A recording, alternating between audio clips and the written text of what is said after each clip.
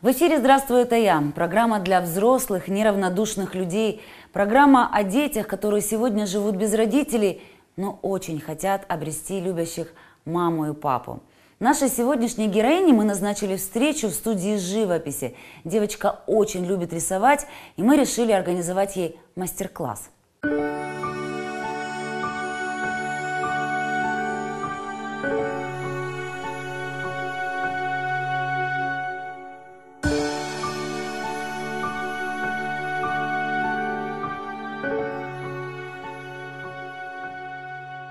Добрый день. Здравствуйте. Здравствуйте. Юлечка, это Оксана. Она очень хотела вас научиться рисовать. Вы принимаете такую ученицу? Да, с удовольствием. Тогда я вам ее отдаю. Мы вам не будем мешать. Посмотрим, что у вас получится через некоторое время. Хорошо, мы вам с удовольствием покажем, что же у нас получится. Правда, Ксюша? Да. А можно я на тебя буду Ксюша говорить? Хорошо. Можно? Мне больше Ксюша имя нравится. Окей? Пойдем. Смотри, это наше рабочее место, и мы здесь будем сейчас писать нашу картину. Я в фартушке, чтобы не испачкаться. И на тебя сейчас одену фартушек, и мы иногда у нас в студии так шутим, когда человек одевает фартук, это, знаешь, такой как чин посвящения в художнике. И вот только одели мы фартушки, значит, уже все. Чудо свершилось, и ты уже художница. И у тебя все получится. Поняла? Да.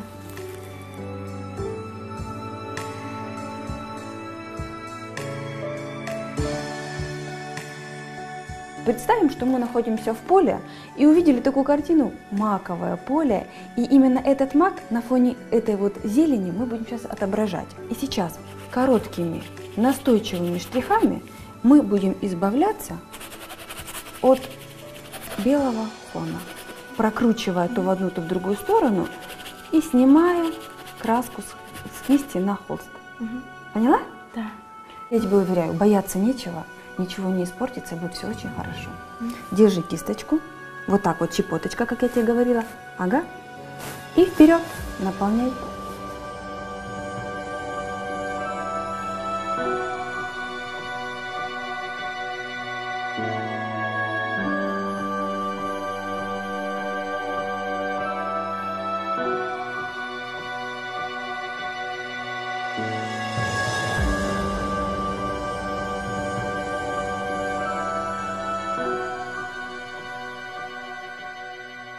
Теперь рядышком мы можем пойти, чтобы отделить один мак от другого, мы покажем этот более красным таким, ну не таким, может быть, сильно красным, каким-то алым еще. И скажем, а, это у нас другой цветочек рядышком вырос.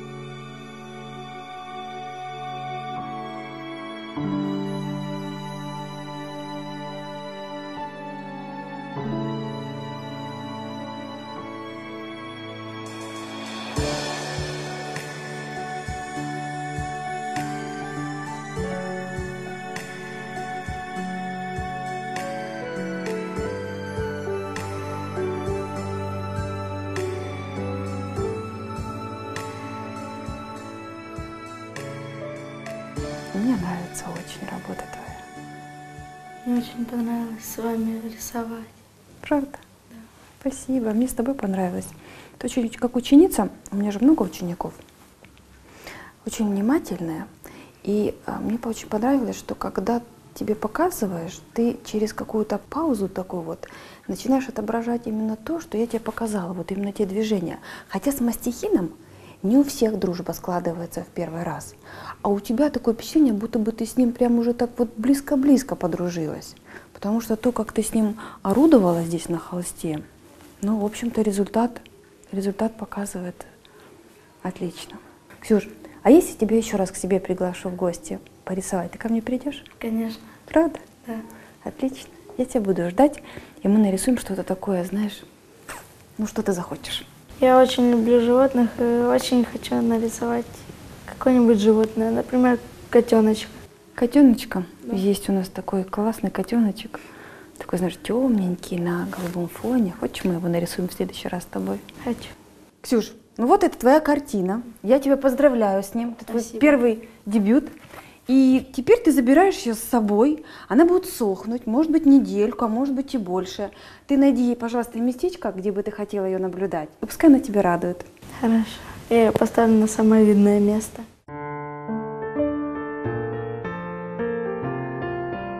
Должна признаться, за все время съемок нашей программы я еще ни разу не видела таких стремительных метаморфоз. Точно так же, как из белого полотна родилось маковое поле, преобразилась и наша героиня.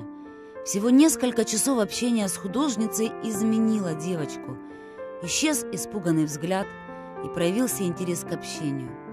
Мы смогли увидеть в ней доброго, честного и трудолюбивого ребенка, который Несмотря на весь свой жизненный багаж, только начинает верить в счастливое будущее.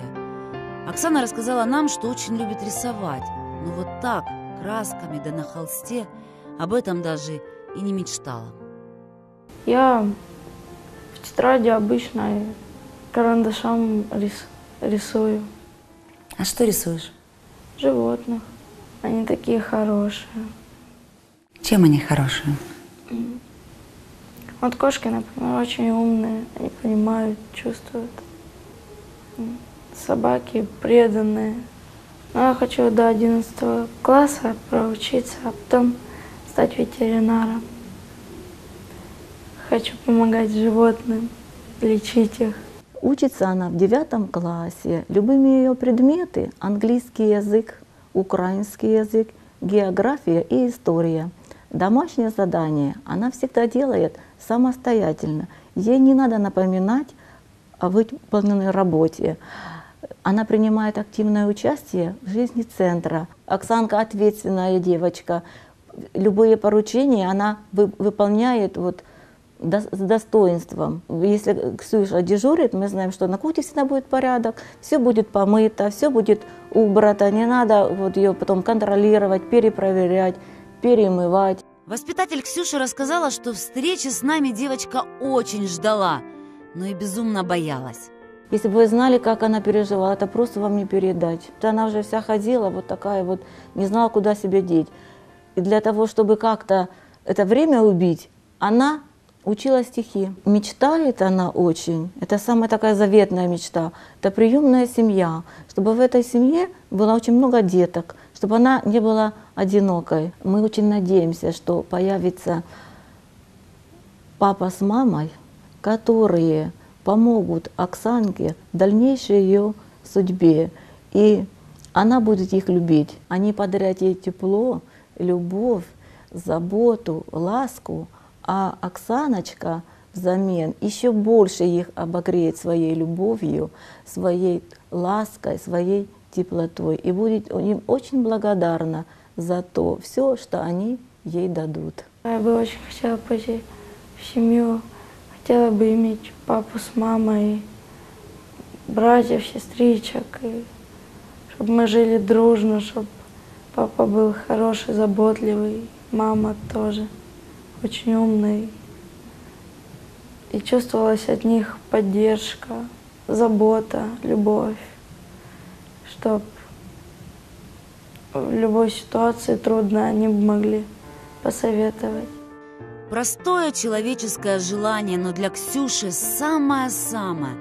Даже под Новый год, когда большинство ее сверстников просили планшеты, телефоны и другие модные штучки, Ксюша просила В том, что у меня будет семья, в том, что меня не- не бросят никогда. И будет всегда поддержка, любовь.